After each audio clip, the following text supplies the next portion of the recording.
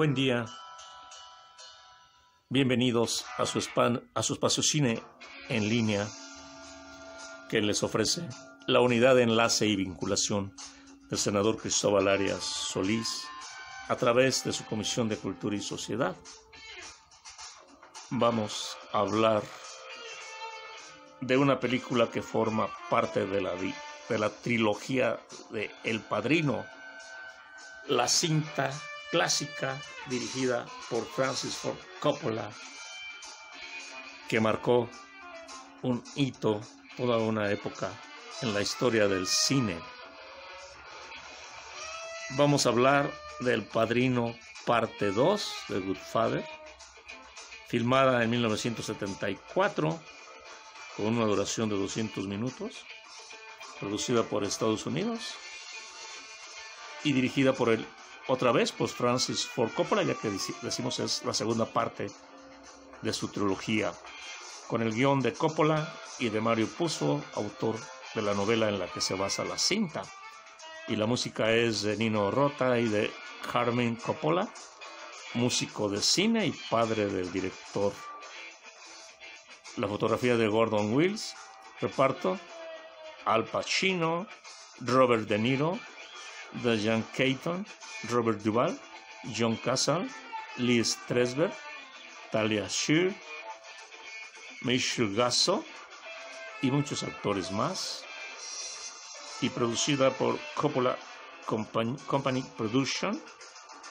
El mismo Francis Ford Coppola, parte de director, fue su productor de esta secuela. Y distribuida por Paramount Pictures. Y en la sinopsis brevísima, Continuamos con la narración de la familia de Vito Corleone, de Corleone, donde eh, se dan dos historias paralelas.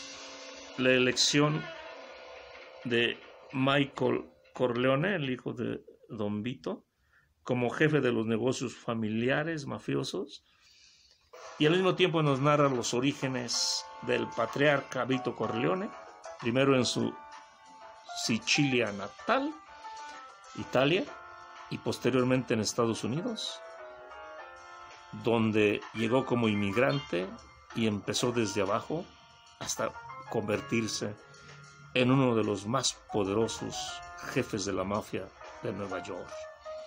Esta segunda parte del Padrino Obtuvo en el año de 1974 seis premios Oscar, incluyendo película, director y actor de reparto.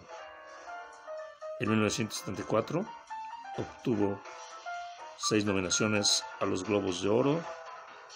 También obtuvo nominaciones en el Círculo de Críticos de New York, del Sindicato de Directores de Hollywood, del Sindicato de Guionistas y el premio BAFTA al mejor actor Al Pacino. Pues para seguir con esta interesante trilogía en su segunda parte, ojalá puedan verla y completar posteriormente con la tercera para tener pues la obra completa de este esta joya de este clásico cinematográfico de Francis Ford Coppola. Gracias amigos y hasta la próxima.